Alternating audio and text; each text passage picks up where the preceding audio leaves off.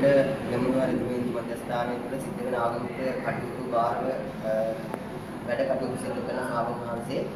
එතකොට මේ වෙනකම් මේ පද්ධතිය තුල කිසිම හේතුවකින් මෙවැනි විරෝධ විරෝධී වෙන ආකාරයේ බුදු පිළිම ඉනිවත් කිරීම ආදී සිද්ධ නොවුණා. නමුත් මේ වර්තමානයේ තුල වැඩ බහර ගන්නට යෙදුණු නියෝජිතතුමාගේ ආකල්පය සංකල්පය අනුව මේ පද්ධතිය තුල තිබෙන සියල්ල වෙනස් කරන්න ඔහු සූදානම් වෙලා ඉන්නවා. ඒ අනුව නිලධාරීන්ගේ පටන් මේ වගේම සාමාන්‍ය සොල්දාදුවා දක්වාම ඔවුන්ගේ රූම්ස් වල තියෙන බුදු පිළිම ඉවත් කරන්න තියෙන කාරණාව කියලා තියෙනවා. එතකොට මේ ඉදිරිපත් කිරීම සම්බන්ධ බුදු පිළිමය පිළිබඳව අපිට දැනුවත් වීම ආවට පස්සේ විශේෂයෙන්ම රෙජිමේන්තු මධ්‍යස්ථානය තුළ ඇතුළේ ඉන්න ඉහළ නිලධාරීන් පවා මේ පිළිබඳව දන්නේ නැති කමින් තමයි කතා කරන්නේ. ඒ කියන්නේ මේක නොදැනුවත්ව වුණ දෙයක් මේක ගිනි ගොඩක් කියන කාරණාව තමයි මට මතක් කරන්නේ.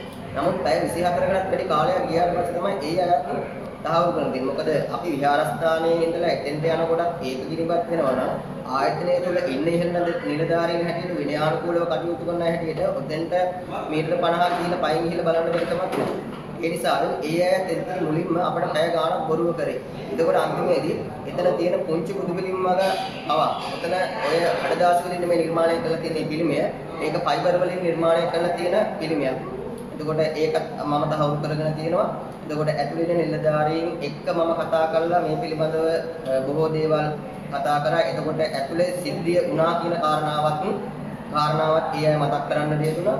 ඉතින් නමුත් අන්තිමේදී ඒ අය මේ කාරණා වසන් කරන්න ඕන නිසා සාමාන්‍ය නිලධාරී සාමාන්‍ය සෙබලෙක් එහෙමත් නැත්නම් මනෝභාවය විකෘති වෙච්ච කෙනෙක් මේක සිද්ධ කරා කියන එක තමයි මට අද උදේ මතක් කරන්නට යෙදුනේ.